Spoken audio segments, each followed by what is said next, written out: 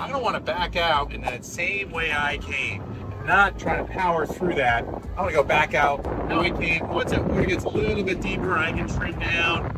Once I'm out here, I need to stop, maybe check my lower unit, make sure I didn't do any damage, and then reassess and go a different way, not that same way.